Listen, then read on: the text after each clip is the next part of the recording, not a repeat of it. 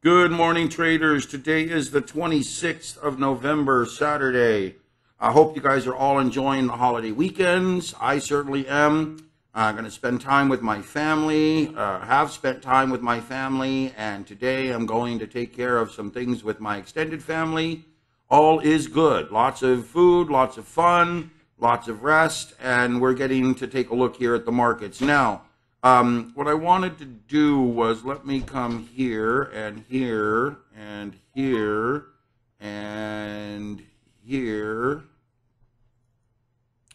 So what we're going to do here, folks, is we're going to pay attention to the fact that the cash flow index has moved higher. We're in a downward cycle trend. So this is a pullback in a down cycle trend.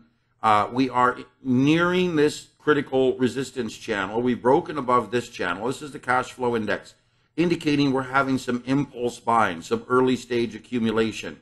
But we're still in a downward cycle. We still haven't broken to the upside. And the consumer engagement index is weaker. This means that consumers are not engaging in the economy aggressively. We're not seeing general consumer uh, spending and engagement. We've fallen back to 2013 levels. These are extremely low levels. Uh, it, we could see, without this consumer engagement moving upward, we're very likely not to see any real momentum to the upside. We might see a melt up uh, in U.S. stocks. We might see some consolidation near the end of the year. We are near a major cycle shift, uh, which is likely going to happen here in uh, early December, meaning but between now and December 10th, 7th to 10th, roughly, we could see a cycle shift, which could prompt a, a new wave. Uh, I'm predicting to the upside, but it could obviously be to the downside as well with concerns. We need to just stay cautious.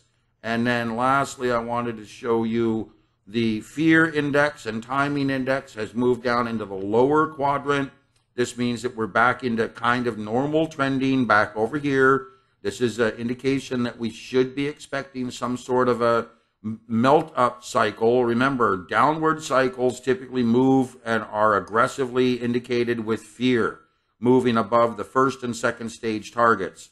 Uh, the first and second stage targets are these lower levels here. Extreme fear is this upper level. We've gone through extreme fear twice here.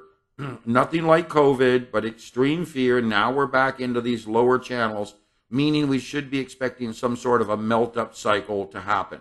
We do not see any extended fear yet, uh, which is, you know, again, would be would be uh, uh, predicated on the sense that consumers are expecting some downward uh, cycle event to take place. Right now, it looks like traders and investors are expecting an upward melt up to take place. So we still are waiting for confirmation of this. Even with the VTI and the SPY here, you can see that we're trying to struggle and break above this channel. Once we get above this price channel, this downward cycle channel across these highs, then we're going to have some pretty solid confirmation of this. In fact, let me show you this chart here. Shows you that this is the custom U.S. valuation trend index monthly chart. And you can see that the U.S. valuation trend index has moved lower from basically uh, 2020. Um, so this is a, a scenario here where even though we had a big speculative rally, We've seen this downward cycle trend. We need to see this upward cycle trend take place. We need to see this shift into an upward cycle trend where we're actually seeing value and price appreciation. You can see we've had it back here. We had it back here in 2014 15, and then we stalled, and then we had some value appreciation here. Then we had depreciation or distribution here in 2000. This is the election, 16, 17, 18. Then we saw a big uh, upward trend here. So we need to see this bottom and start to move higher. Additionally, we need to see not the fangs, not the metals, not the smart cash, this to start to move higher. We are flagging out in a sideways channel. So what this means, ladies and gentlemen, is that we are showing early signs of accumulation. We are in a sideways channel. We have not seen any big breakout. We could still move sideways uh, before we get a breakout.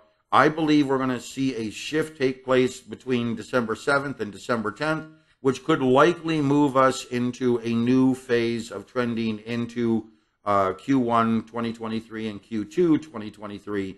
But right now, the markets are fairly fragile. They could revert to the downside, four, five, six, seven percent, or they could move to the upside, four, five, six, seven, eight percent. Uh, and I'm betting, or at least I believe, the uh, trend is to the upside because of my custom index charts. But we could still have a reversion here in trend back down to these lower levels before we see some sort of a breakout. Remember, December 7th through the 10th, roughly, is still two weeks away. So, two to three weeks away. We could still have some rotation before we get some big breakout. So, now let's go back over to the custom index or the uh, uh, TT scanner hot list. We have very few new triggers right now. Everything is flattened out. I would call this a neutral bullish trend. Uh, understand that general markets are kind of weak. They are not trending upward. You can see this is the core inverse strata, uh, uh, TT scanner hot list.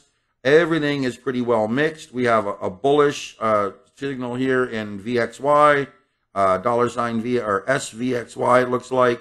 we have bullish here in CHAD, CHAD. We have one trigger that's held uh, for two and a half weeks here, ERY short.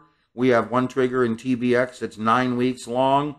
Everything is fairly flat though. Look at the percentage in profit 1.5%, 1.4, 6.3. This one is many weeks old, 30 some weeks old.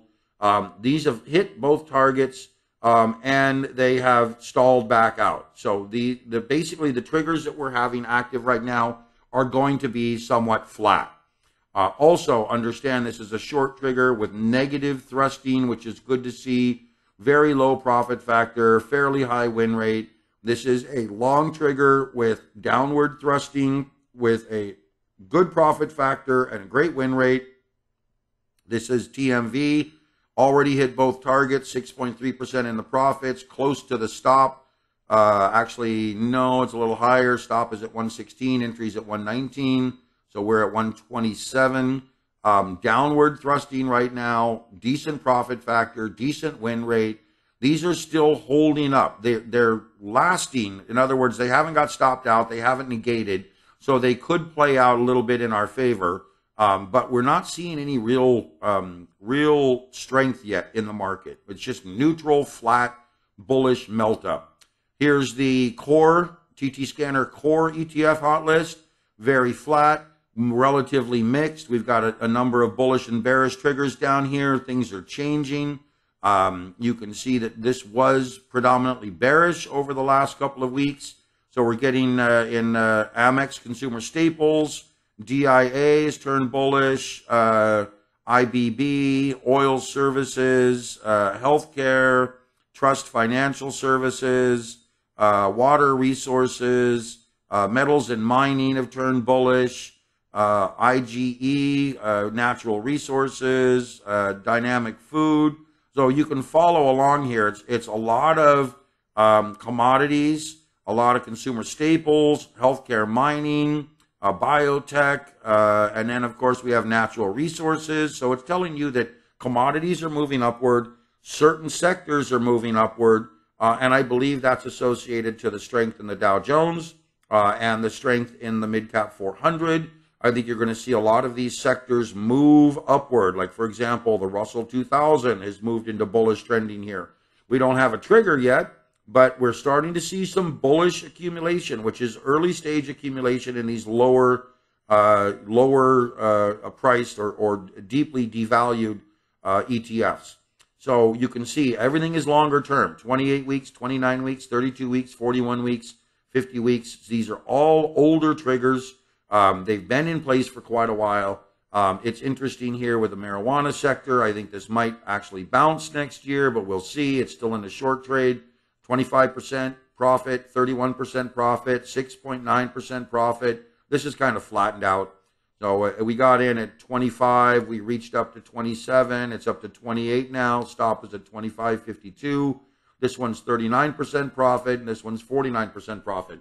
I will again warn you that when the markets enter uh, or exit this sideways neutral bullish trend, we're going to get a lot of new triggers on these uh, weekly TT scanner hot lists. Uh, it's going to be very exciting. Right now, this is doing exactly what I expected to do in a sideways flat market. is it got into a couple triggers over the past couple of months. Some of them worked out very, very well. Some of them terminated within within a week or two. Um, and that's exactly what it should be doing. It should be realizing the markets are flat. It should be realizing there's neutral trending, and it should be keeping us away from uh, from unwarranted trade triggers right now. So everything is good. As far as I'm concerned, everything is good. It's doing what it's supposed to do. We just need to be patient and wait. Now, let's take a look at the uh, TT Scanner main ETF hot list. This is our primary hot list, the one that I uh, base a lot of decision making on. The extras, the, the core and the uh, core inverse, and then the value hot list are designed to give you extra triggers. Okay, they're designed to help you find additional trade triggers um, when the markets are uh, are trending. When they're neutral, like they are right now, you're going to see that everything is going to stay relatively flat. We're going to get mixed trending. This is something that you can follow here, depending on how bullish and bearish everything is.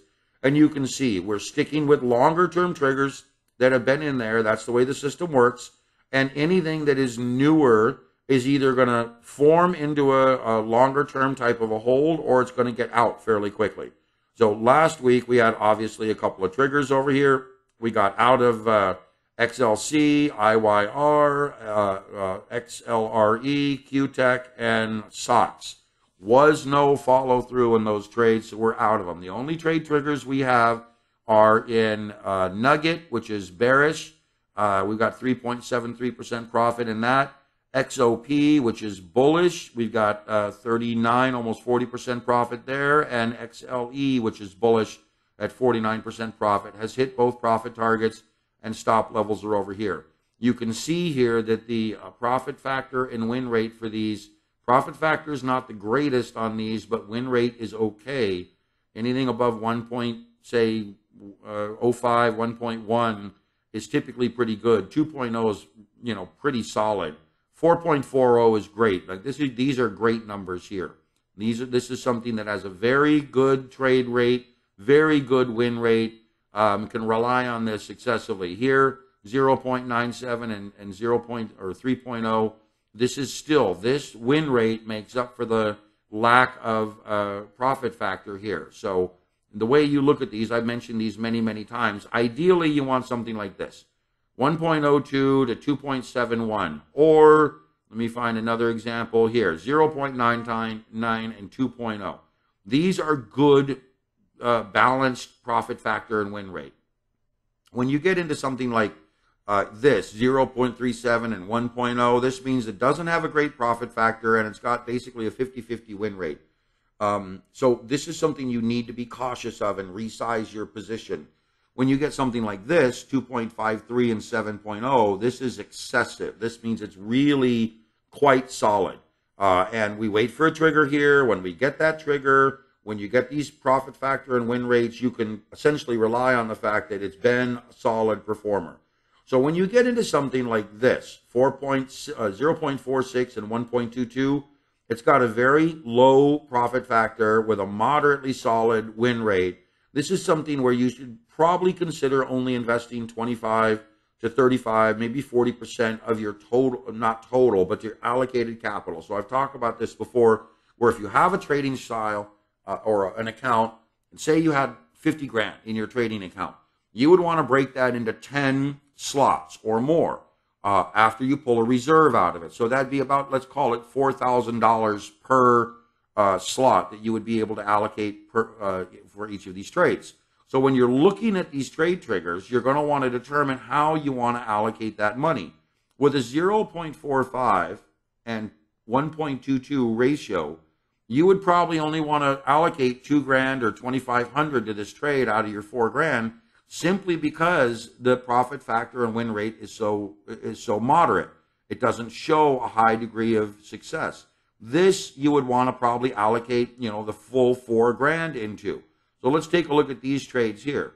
This trade here, 0.36 and 1.22 would probably be about 25, 30% allocation. 0.45 and 1.09 would again be 25, 30% allocation. And 0.79 and, and 2.0 would probably be about 50, 55, 60% allocation If I were to get to this 1.12 and 2.80, now that's closer to full 100% allocation. That would be four grand. Same thing here, 0.97, 3.0, that would be closer to the full four grand or 100% slot allocation. 0.82 and 2.0, that would be closer to full. This one, 3.68 and 6.50 would definitely be full allocation. So the way you look at it is you come down and you measure. You know, 1.02 and 2.71, that's positive, positive, maybe 80 to 100% full allocation, somewhere between, say, 3 grand and 4 grand allocation. 0.62 and 1.64, this kind of 1.64 makes up for the weakness here, but I'd still say this may be 50, 60, 70% allocation. Um, let's pick another one. Uh, we've all gone through that one. Here's uh, so uh, 3 0.35 and 0.60 very weak, probably 25, 30% allocation at best. 1.16, 2.83, this would probably be uh, 80 to 100% allocation because both are positive, both are above uh, the 1.0 level, and this this is really near the, the minimum threshold of 0.0 or uh, 1.05 to 1.1, but this is very positive. Um, this is more neutral, 55 and 1.12 that would probably be around a 50, 60% allocation. Uh, positive, so that'd be 80 to 100%, positive, 80 to 100%, more neutral, 50, 60, 70%, 81 and 2.4. The 2.4 makes up for the weakness here. So this would probably be 60, 70, 80% allocation. This would be, look at this, uh, the 0.38 and 0.82. This would be 25, 30% allocation max uh, 64 and 1.4. This would be 50, 60% allocation. Same thing here, 50, 60% allocation. Uh, maybe a little stronger, 50, 60, 70% allocation here. 89 and 1.88. You know, the way I look at it is if you balance out these two numbers, that's going to end up being about a 1. Uh, 1.3, 1.33. Um, so that puts it in, in a, a fairly consolidated uh, 50, 60, 70% allocation. Same thing here. It's when you start getting into these low, low numbers like this. So this is, you add this together, you come up with about a 0.73 roughly uh, number, and that puts us into like the 20 to 30% allocation range. But either way, ladies and gentlemen, the markets are shifting. We're starting to get some bullish triggers. We're starting to get some early stage accumulation, but we're not getting a lot of uh, TT scanner triggers right now, which is what I expect. Markets move sideways. We haven't broken away from any side, uh, any real trends. We're not going to get a bunch of triggers. That's kind of how it works. Now let's come over to the value index. We have one new trigger here in SJM Smuckers, uh, which has a let's zoom in. Has a uh, let me slide this over.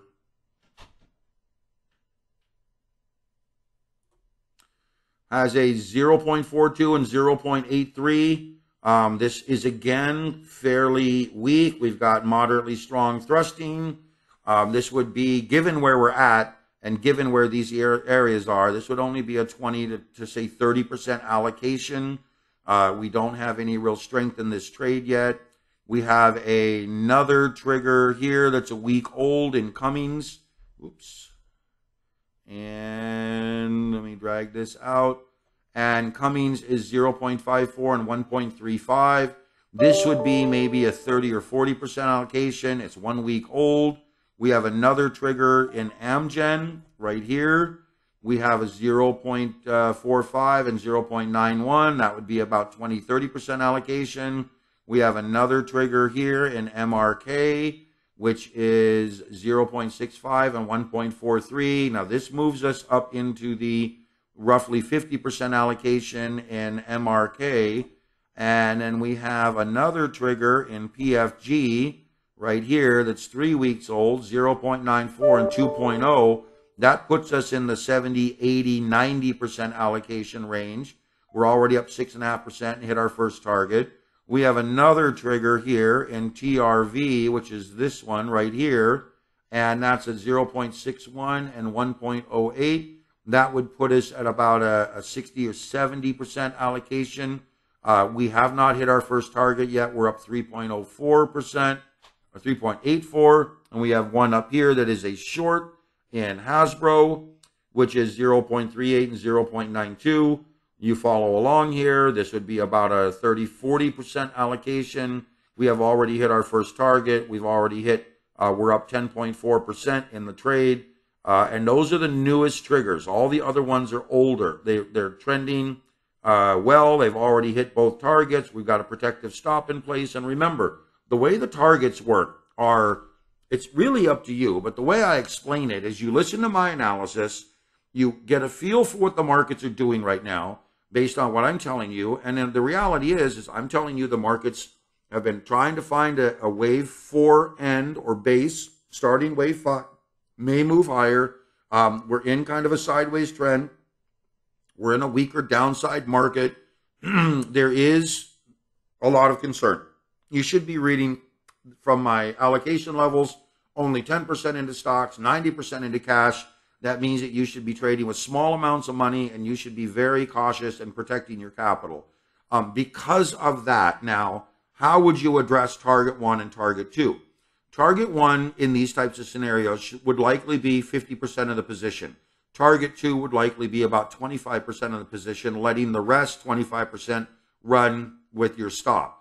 When we get into real trending, where let's say I'm telling you everything's going up, looks good. My custom indexes are telling us that everything should be, you know, trending upward. We're in a solid uptrend and we get a bunch of long triggers or we get some inverse short triggers that are in line with the direction of the market, then you may consider using this as a 33% target one and then a 33% target two and then a 33% stop or you could do something along the lines of a 30% target one, a 40% target two, and then possibly a uh, that would put us at 70, then a 30% uh, trailing stop. The idea is you want to lock in these profits to lock away gains and protect your capital.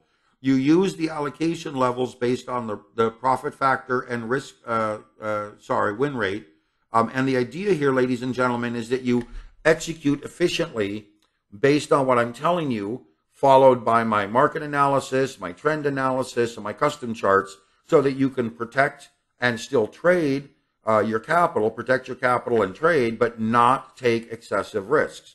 When the markets finally settle and move into a solid trend, we are going to get some really good upward movement and we are going to get some really big trends that are going to work out very, very well.